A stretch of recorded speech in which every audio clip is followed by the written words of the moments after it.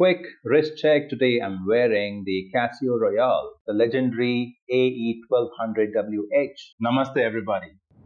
Finally, it's been four months since I started this channel and this is the first time you are seeing a watch that is not a Casio. I hope you guys are happy and if you are a Casio lover, I don't know if you are sad because the Casio streak is finally broken on this channel. Please let me know what you guys think in the comments. This is a timepiece that has been generating quite the buzz among the watch enthusiasts in India and we are about to find out why. Let's not keep you guys waiting anymore. Let's dive right in. Say hello to Titan Octane Hyperlume Quartz Watch with reference number NP9011-3KP01. Wow. Just Look at that. The sleek design hints at the precision and craftsmanship that went into creating this beast. Except the strap, this looks like it could cost more than it does, but it is quartz, so it is affordable. The Titan Octane Hyperlume retails at Rs 10,995, but it is currently being sold at a discounted rate of Rs 6,595, but you can find it for cheaper with retailers such as Amazon and Flipkart. Let us now examine the star of the show for the first time here on Tick Tock Treasures. We will cover one aspect at a time. My first impression, it's stunning.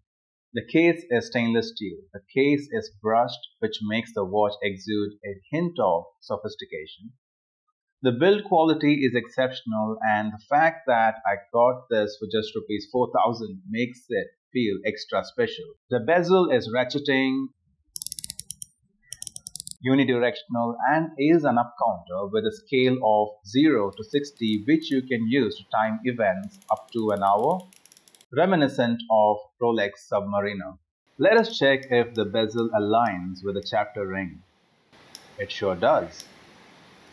Good deal. Let's now check out the crown. It is a screw down crown. I don't like that the Titan logo is tilted in the screwed in position of the crown. My OCD just doesn't want to accept that. Turning it all the way up locks the crown in place. Let's quickly unlock to test its feel. Hmm, that feels good on the fingertips. Good grip. The case back is a screw down case back which looks pretty solid. It is stainless steel. The glass is mineral crystal. There is no bulge, but it has a bit of a hue. In fact, a lot of blue hue on it. Personally, not my thing, but I know a lot of people who like a bit of a hue on their crystal. The dial is bold alright, but I am not impressed. It is busier than Chandni Chowk. You see, there is beauty in simplicity, and this is where the Casio Duro excels with its simple dial.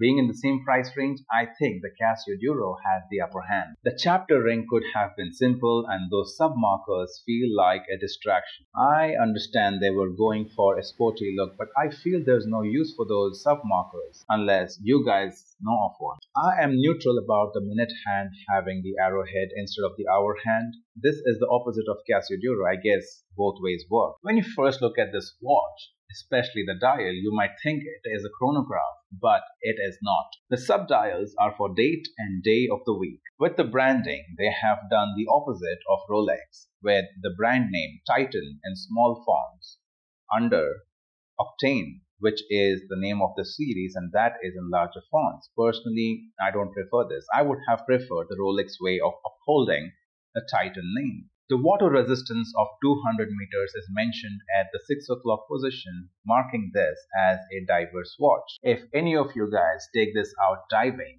and use it to time your dive and decompression stops, please let me know how it goes. People on the internet have been raving about the lume on this watch. I had to check it out personally. After all, the watch has hyperlume in its name. I personally feel that in the dark, the luminous hands and hour markers illuminate brilliantly, staying true to its name. I think people were right.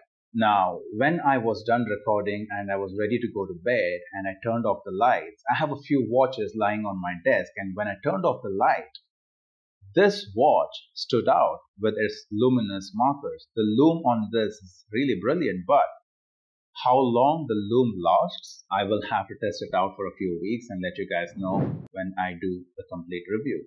The strap is TPU which is thermoplastic polyurethane which is somewhere between rubber and resin.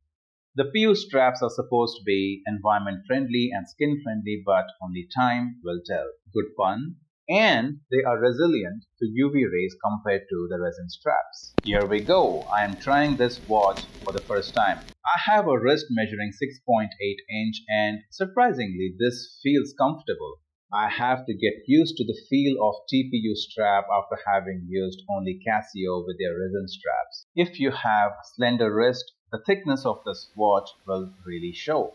In conclusion, the Titan Octane Hyperlume feels like more than just a timepiece. It is trying to tell us that, look, I have style and a whole lot of craftsmanship has been applied on me. Whether you are a seasoned collector or someone looking to elevate their wrist game with a sporty look or if you're looking for a watch that looks premium at an affordable price, then this watch ticks all those boxes. But I'm actually hoping that Titan releases this watch, re-releases this again with a better chapter ring which is less busy and with just hour markers and minute markers and nothing else.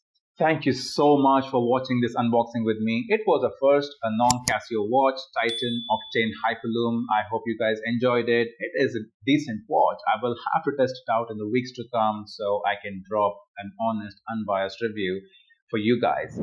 I am collecting like-minded individuals who are enthusiastic about watches or passionate about watches or watch collectors. So please join our Reddit community and interact with one another on a daily basis. Share pictures, talk watches, talk non-watch related stuff too. So please join our community. For more such watch related content, stay tuned and stay classy.